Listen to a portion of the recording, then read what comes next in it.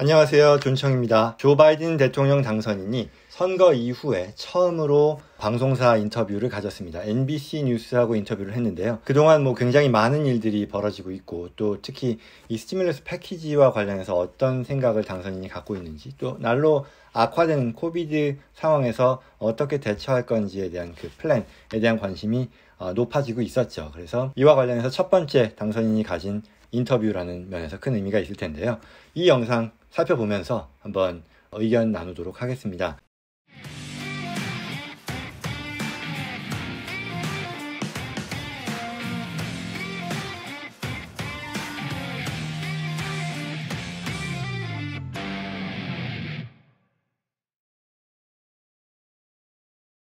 들어가기 전에 아시다시피 여전히 선거 결과를 둘러싼 분쟁이 끝나지 않은 상황입니다.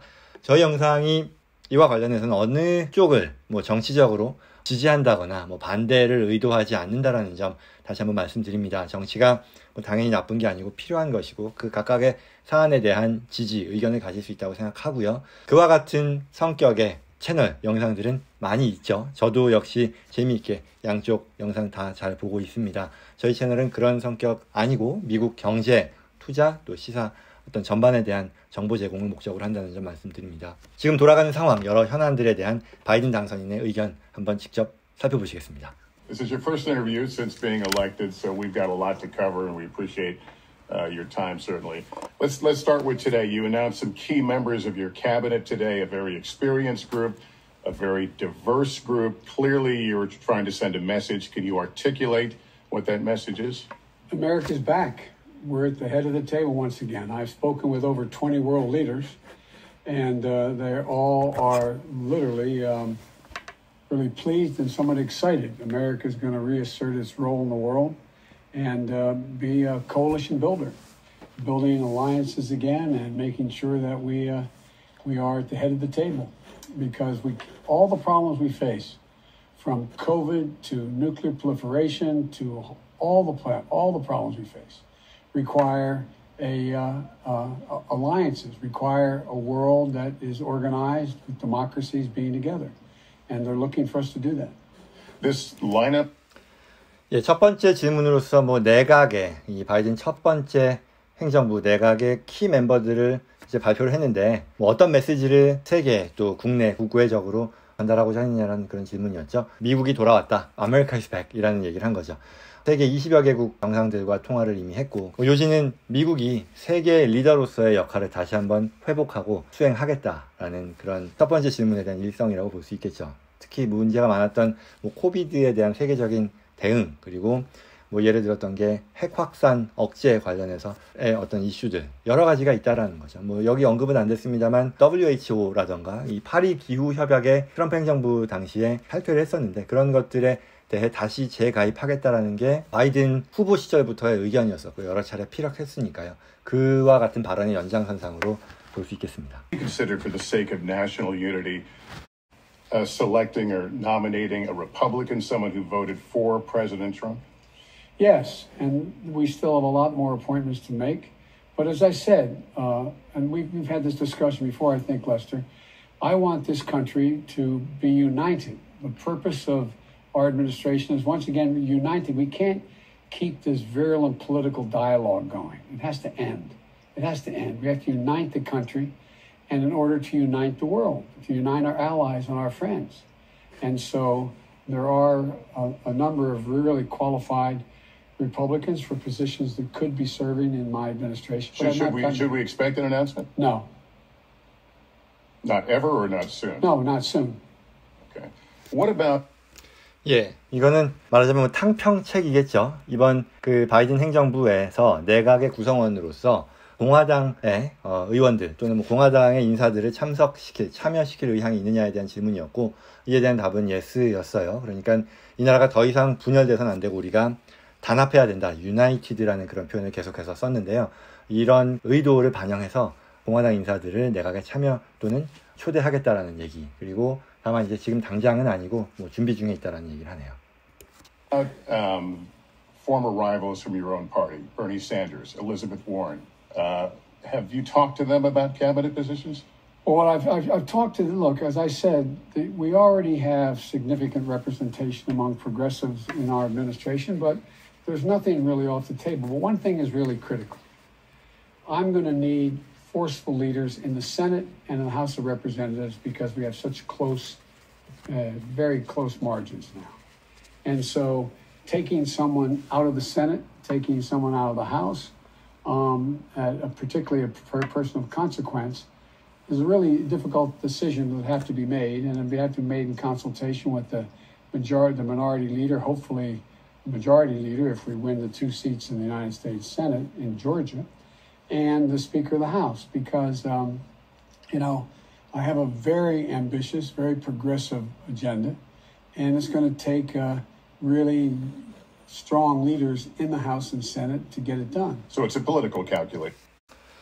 이 내용은 이제 많은 사람들이 걱정하는 또는 기대일 수도 있을 텐데 민주당 내에서도 스펙트럼이 다양하죠. 그 중에서 바이든 당선인은 중도에 속한다라는 어떤 평가를 받아왔는데 이제 진보층의 적극적인 지지를 토대로 당선이 됐으니까 그들에게 어떤 그 내각에 참여할 수 있는 그런 혜택 내지는 어, 그들을 위한 자리를 마련하는 거 아니겠냐라는 얘기가 최근 들어서 계속해서 나왔어요. 이게 뭐 우려라고 할 수도 있고 또는 기대일 수도 있겠죠. 그래서 나왔던 게 질문으로서 뭐 버니 샌더스 상원 의원이라던가 아니면 엘리자베스 워렌 상원 의원 두 분 다 모두 굉장히 어, 왼쪽이죠. 그러니까 진보파에 속하는 그런 뭐 대표 주자들일 텐데 이들을 내각에 참여시킬 의향이 있느냐라는 질문이었는데 굉장히 현명하게 답을 한 것 같은데요. 모든 게 테이블에는 올려져 있다라는 거죠. 가능성은 다 열려 있다라는 거지만 지금 현재 많은 진보적인 프로그레시브한 그런 아이디어와 그런 인사들이 참여를 하고 있다라는 점 그리고 더 중요한 것이 지금 상하원에서 민주당 이 뭐 하원은 지금 주도하고 있지만 그 마진이 그다지 높지 않다라는 거 그리고 상원 같은 경우는 이제 조지아 주에서의 결선 투표가 내년 초에 다가오고 있죠. 두 개 자리 뭐 48대 50 뭐 이런 상황이라고 하는데 결국은 한 석이라도 더 중요한 상황에서 이들을 내각에 참여하게 한다라는 게 과연 가장 현명한 거냐라는 그런 관점에서도 고민을 많이 하겠다. 이 말은 뭐 한 발 뺄 수도 있다라는 그런 얘기 아닐까 싶습니다. 그러니까 안 하겠다라는 그런 뜻으로 읽힐 수 있는 거겠죠. What are we facing? You've been very, as a candidate, you were very clear that we're heading into some of the darkest days right now. We know the vaccine is going to happen. But as we speak, people are ignoring advice to stay home. They're crowding airports around the country right now. Um, you've called for a national uh, mask mandate. Um, how much power as president will you have to influence people in ways you have not been able to as a candidate? I hope as president, and many of the Republican governors and mayors felt the same way. I hope that we're going to be able to have a united voice on the need to mask, socially distance, testing, and tracing. They're critical, critical pieces to dealing with bringing down this virus in a more manageable place. We're, you know, there's, there's expectations that could be as many as another 100 to 125,000 people uh, dead. 갈수록 가장 어두운 상황으로 지금 전개되고 있는 이 코비드 위기 상황에서 이제 당선인으로서 어떤 노력을 하겠느냐라는 그런 질문이었죠. 통합된 목소리를 내는 게 가장 중요하다. 그래서 주정부와 협조해서 뭐 마스크를 어떤 식으로 맨데이트를 하느냐 이런 부분들 뭐 이런 것들을 주정부와 협조해서 공화당의 주지사, 뭐 메이어들을 다 포함한 그런 주 정부들을 다 포함해서 같이 통합된 목소리를 낼 수 있도록 노력하겠다. 그래서 마스크를 전 국민에 대한 의무화를 시행을 하고 또 테스팅이라던가 또 확진자들을 추적하는 이런 필요한 방침에 대한 것들을 세우고 그에 대한 전 국민의 동의를 구하는 그런 절차를 시행하겠다는 그런 의견이네요. A moment ago, you mentioned schools. I want to ask you about that. New York City recently went back to at home learning only. Some other big cities have made the same choice. What will you do to get kids back in school? How much will you be working the phones and working with governors and, well, and mayors? It takes a lot of money to get them back. The estimates are 150 to 200 billion dollars for the year it would take to get safely open our schools. For example, we know that we have to change everything from the ventilation systems in schools. We know we have to change the sanitary. We have to make sure the sanitary, everyone from sanitary workers right through to the bus drivers they have to be clued in. They have to be protected. They need the PPE. They need the gear. They need the ability to have smaller modules of classes. So you, instead of having 30 kids in a classroom, you have mods that we have 6, 8, 10, 12. That means we have to have more school teachers in the class. It costs more money. We have to have plastic shielding, shielding that separate people so they can, in fact, not be in the circumstance. How are you going to get all that, though? Well, you get all that by passing what has already been passed in the HEROES Act, getting, stepping up and taking on the responsibility. And Lester, it's the same with businesses. Imagine 예, 질문은 뭐 지금 뉴욕시를 예로 들었는데 다들 이제 재택 수업이죠. 학교가 이제 문을 닫고 기타 뭐 캘리포니아도 지금 현재 계속해서 뭐 LA 카운티, 오렌지 카운티 에스컬레이트 되는 상황인데요. 이와 같은 상황을 개선시키기 위한 노력을 어떻게 준비할 것이고 지방 정부와 또 어떻게 협조를 구할 것이냐라는 그런 질문이었었고요.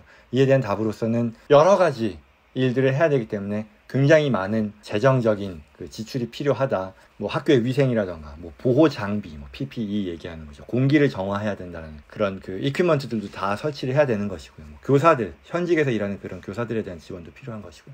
그래서 이제 사회자가 물어보는 것이 그렇다면 이런 것들에 대한 지원책을 어떻게 현실화 시킬 것이냐라는 그런 질문에 대해서는 HEROES Act를 얘기하는 거죠. 우리가 잘 알고 있는 이 stimulus package였죠. 민주당에서 이 하원에서 통과시켰던 그 3.2조 달러에 달하는 방대한 규모의 그 사이즈가 됐던 그 HEROES Act를 언급을 하고 있는 거죠. 결국 모든 이 지원책들에 대해서 모든 이런 지원 사업을 위해서 필요한 funding에 대한 노력도 계속 하겠다는 그런 의도로 보여집니다. Tell me about day one of the White House and day one through what- 100, your first 100 days. What are, you, what are your priorities going to be in those first days? Well, my priorities there there are a number of things that have to be let me back up.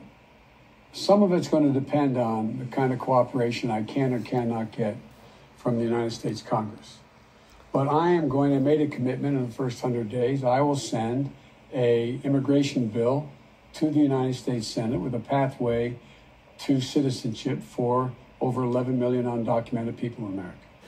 I will also be moving 사회자의 질문은 대통령직에 취임한 이후에 가장 먼저 할 일, 뭐 첫날 또는 뭐 100일 동안에 할 일이 뭐냐라고 질문을 했고 이에 대한 답변으로서 첫 번째로 일단 답변을 하기 이전에 그 의회의 협조에 따라 변동이 있을 수는 있겠으나 본인이 의도하는 것은 첫 번째로 이민법에 대한 개혁안을 어, 의회에 보낼 거다라고 얘기하네요. 1,100만 명, 1,200만 명에 달하는 이 서류 미비자들에 대한 해결책으로서 이민법 개혁안을 상정해서 논의를 하겠다는 그런 언급을 했고요. moving to do away with some of the, I think, very damaging executive orders that have significantly impacted on making the climate worse and making us less healthy, from methane to a whole range of things the president has done, as, in my view, has eviscerated the EPA, the Environmental Protection Agency.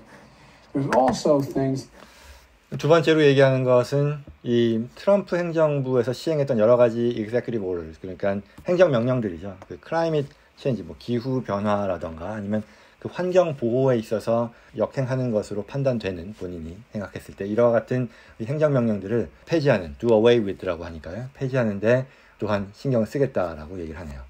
That I want to do that relate to the ability to make sure we get immediate assistance to state and local governments to keep them from basically going under. By that I mean, every state and local government has to have a balanced budget.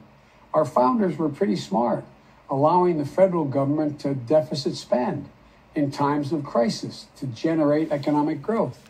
And so we need, for example, what's going to happen if they don't get additional aid, they're going to have to start laying off first responders, cops, firefighters, nurses, docs, public health organizations because they can't afford it. They don't have the wherewithal. They don't have the money to do it. So it's going to be instead of what in a normal circumstance you'd set your priorities, there's multiple things that are going to have to be taking place at the same time. In addition to that, one of the things those the 20 world leaders I've already met 앤 로컬 정부에 대한 지원을 또한 바로 개시하겠다라고 하면서 우리 건국자들이 굉장히 똑똑했다. 그러면서 연방 정부는 deficit, 적자 재정을 운영하는 게 굉장히 정상적인 것이고 또한 위기 상황에서는 적자 재정을 통해서 경제를 부양시키려는 그런 노력을 해왔다라는 거고요. 지방정부 차원에서 이런 위기 상황에서 경찰, 소방관, 뭐 간호사, 의사, 뭐 여러 고통받는 이런 사람들, 그 현직에 있는 프론라인에서 현직에 있는 이런 사람들에 대해 연방정부 차원에서 지원을 제때 제공할 수 있도록 하겠다. 그게 결국 경제의 성장에도 도움이 될 것이다라는 그런 얘기네요. The most important thing, I think, is while I do all, while we try to do all of this, focus on those folks who are always, when crisis hits, they're the first one hit, and when recovery comes, they're the last one in. That's basically minority communities who've been hurt very badly. You know, I, I know you know because you're so darn informed, that tens of thousands, millions of people are living on the edge where they're going to get kicked out of their apartment because they can't afford their rent. 20 million people worried about whether they can pay their next mortgage payment. Making sure we get the aid that was voted on in the House and was passed by the Senate in some cases, and much of which is not passed, get the kind of help to keep people afloat. People, I mean, I remember 마지막으로 얘기하는 것이 다시 한번 그 스티뮬러스 패키지에 대한 얘기라고 볼 수 있을 텐데요. 가장 중요한 것은 이와 같은 위기 상황에서 가장 큰 타격을 받고 고통받는 계층에 대한 지원을 하겠다, 우선적으로 하겠다라는 거고요. 여기서 이제 마이너리 커뮤니티를 얘기했죠. 그러니까 소수계 커뮤니티에 대한 지원, 특히 바이든 당선인이 예전 후보 시절부터 계속해서 강조했었던 것들이 제때 렌트비를 내지 못하는 이런 계층의 사람들, 또한 모기지 내지 못하는 이 수많은 그런 사람들에 대한 지원책을 가장 우선적으로 어, 해결하도록 하겠다라는 그런 의견이었습니다. 이 외에도 뭐 몇 가지 질문들이 있었습니다. 뭐 트럼프 대통령에 대한 조사, 뭐 FBI, 뭐 CIA의 조사를 어, 취임 이후에 계속 지시할 것이냐 뭐에 대한 것들 그리고 현재 대통령직을 인수하는 인수위원회 작업에 있어서 협조를 잘 받고 있는지 뭐 이런저런 질문들이 있었는데요. 관심 갖고 한번 이 영상 살펴보시는 것도 좋을 것 같습니다. 오늘 준비된 영상은 이것으로 마치겠습니다. 여러분들께서 해주시는 구독, 좋아요는 어, 저희 채널과 커뮤니티를 키우는데 큰 힘이 됩니다. 다시 한번 도움 부탁드리고요. 어, 저는 그럼 다음 시간에 찾아뵙겠습니다. 고맙습니다.